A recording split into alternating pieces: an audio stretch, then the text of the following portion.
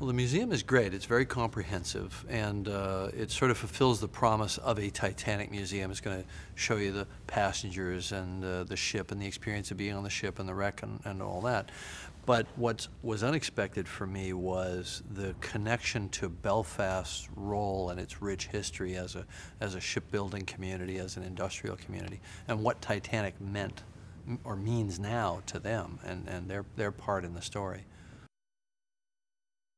Well, we have a number of, of, you know, kind of iconic costumes from the film that'll be displayed here on mannequins. And then there's the ship's wheel and the uh, uh, engine telegraph, the brass engine telegraph, that have been sitting in my office for the last 15 years. My, my, like my office at, at my, uh, my building.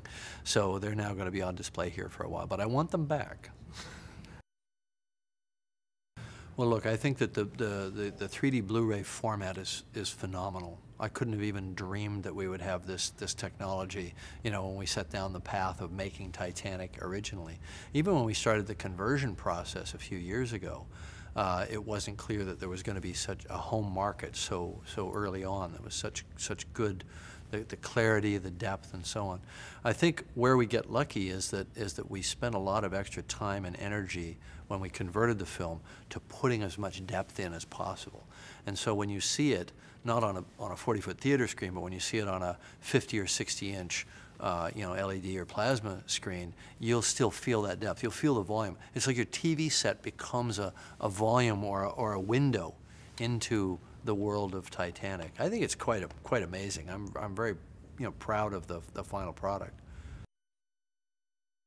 Well, there are a lot of deleted scenes, and there are, there are a number of them that are, you know, historical moments that were known to have happened. And ultimately, as we were cutting the film, we focused closer and closer to the Jack and Rose story, I think for obvious reasons.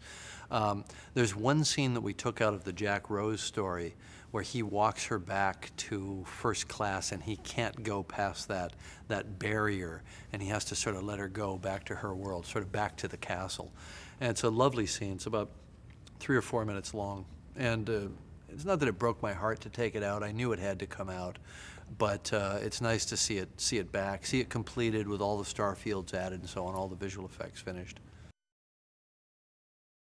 Well, I think when you set yourself the task of doing a Romeo and Juliet type, you know, doomed young lovers story, uh, you've got to have great chemistry, uh, you know, and and so it was so critical. The casting was so critical to the success of this film, and it's so hard to admit for for a director who plans everything so meticulously and can do all the visual effects and all that. That so much of your enterprise uh, really hinges on that that chemistry, just what's in their eyes, just you know, uh, and, and and what they're not saying between the lines, you know, that you feel the you feel the tension, you know, the sort of sexual tension, the emotional tension between them. It's so it's so important. So, you know, the casting process is always somewhat mysterious and, and scary. Uh, we found Kate, um, and you know, just we're in love with Kate for for uh, for Rose, and then she read with with Leonardo, and the sparks were were very obvious. He only he only read the scene once and uh, she, she came to me afterwards and practically grabbed my lapels and said, You have to cast him. And, uh, you know, we did, fortunately. Well, it's interesting what this trip has become, I think, you know, as I'm thinking about it more, is uh, a kind of moment of closure, if you will. Ironically, here where, where Titanic the ship was actually birthed is kind of the end of the journey for me. I've done the expeditions. I've done three expeditions. I've done 33 dives. I've done the forensic documentaries. I've made four films on the subject. And now we're releasing the Blu-ray, which is the ultimate home media. We don't have to do anything beyond this. We've included everything in the Blu-ray that needs to be in there, every supplemental material, every deleted scene.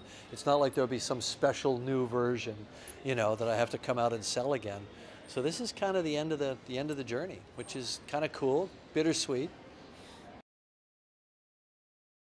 Well, I think first of all, the, the world interest in Titanic is unabated, not just the film, but the actual history.